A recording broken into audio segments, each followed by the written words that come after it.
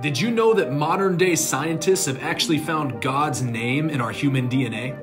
When studying the nucleic acids, they found a sequence of four letters that repeated all throughout our DNA. These four letters are found in the Hebrew dictionary.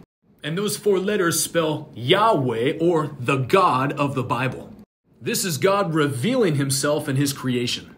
Make sure you like, subscribe, and go watch the video that I pinned in the comments to make sure you're going to heaven.